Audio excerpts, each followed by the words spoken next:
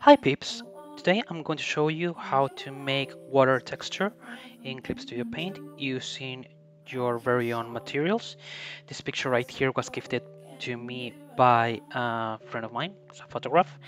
It's a pho photograph of a little pond that connects to a small river and this is the part where the river meets the pond so the shape of the water it's very attractive or it was very attractive for me.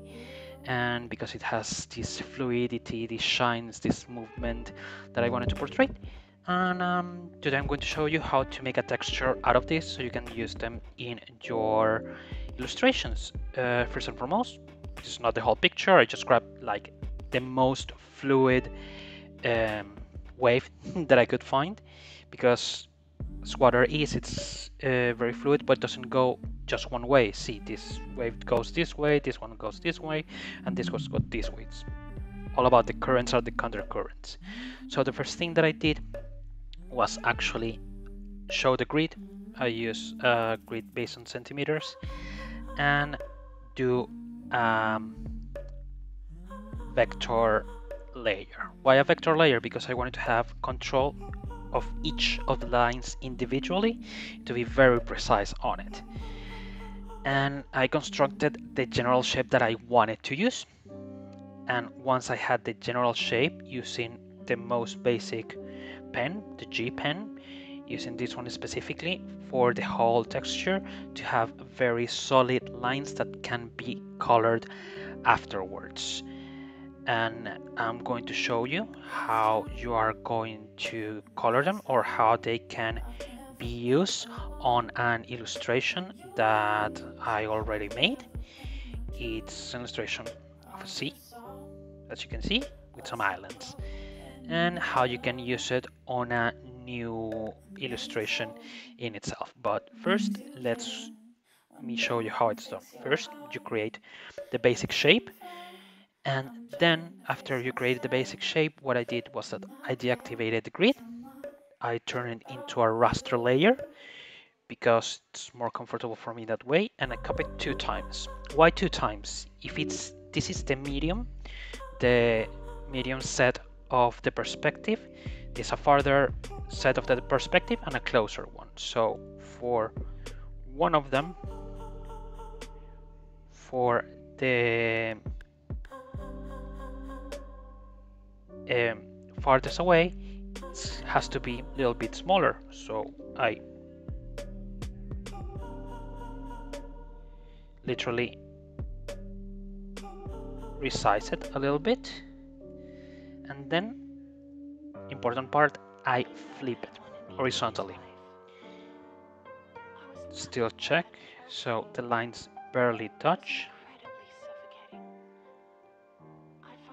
and I do exactly the same for the second one. Just that it's going to be in the closer perspective.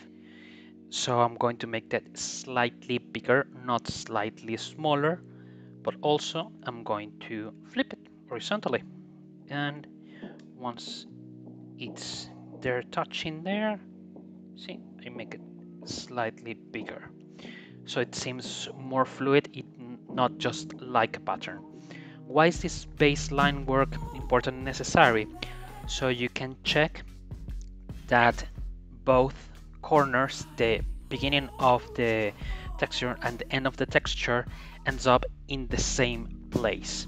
So there's not a cut and everything is very fluid and you can use it as an overall texture. I prefer to use it as a brush and precisely because you're going to use it or you could use it as a brush, brush this technique or a texture, it's important that it's a square canvas, okay?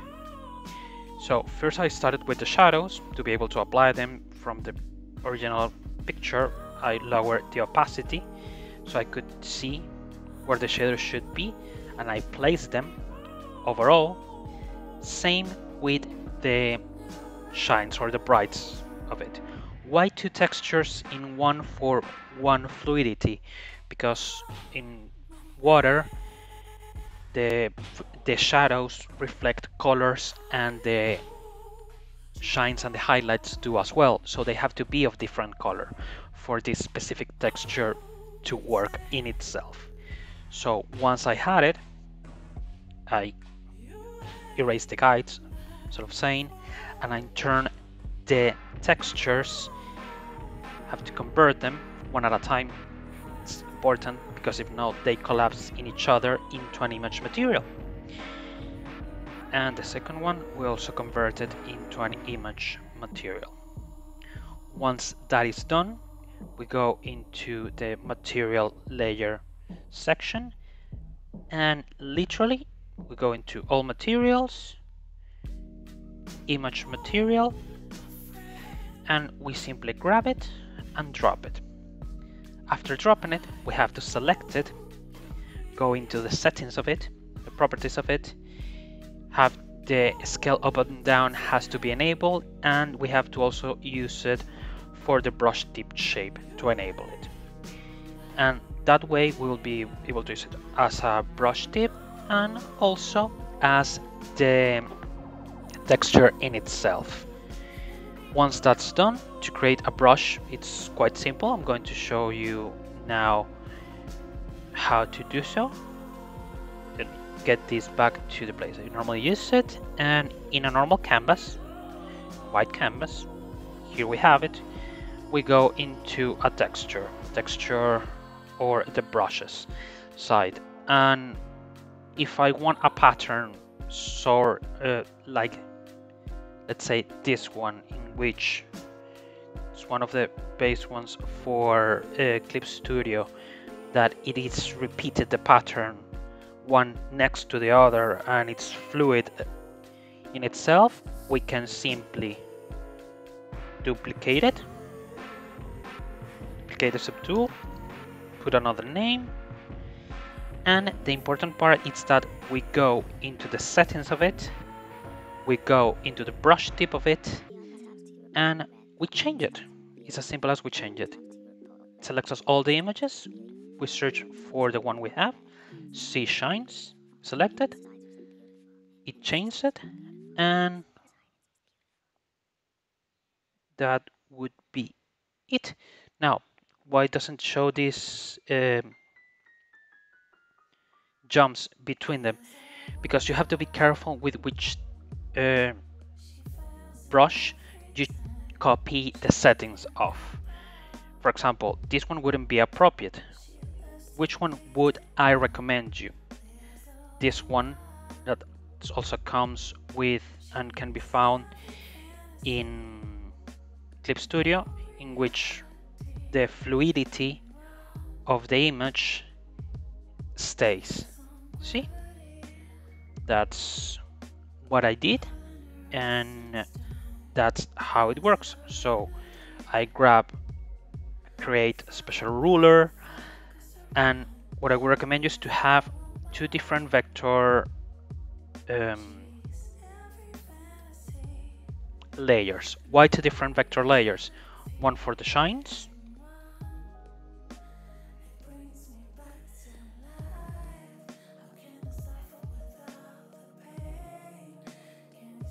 and one for the shadows. Sorry. Has to be exactly the same size of brush, if not, it's not going to work. Why different? So you can match them.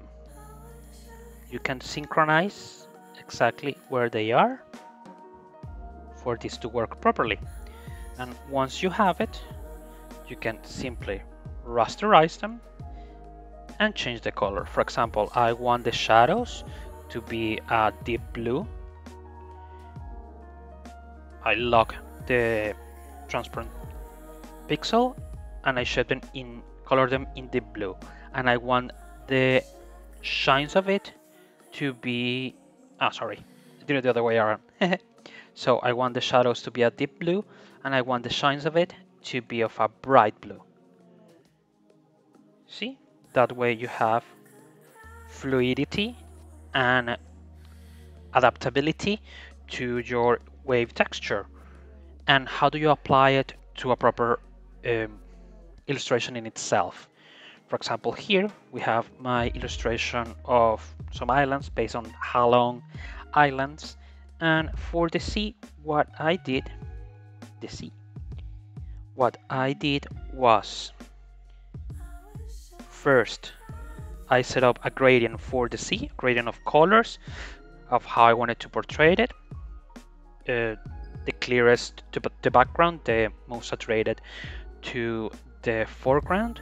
And I included some shapes of water based on currents, some shines based on the very white clouds that are above in the sky, the reflection of the islands and to give it that little extra, precisely the water texture in which we have the sea shadow texture, see, deeper color, and the sea shine texture or the sea bright texture. As you can see, it looks very natural in itself. It's not forced because I use different colors for each of them.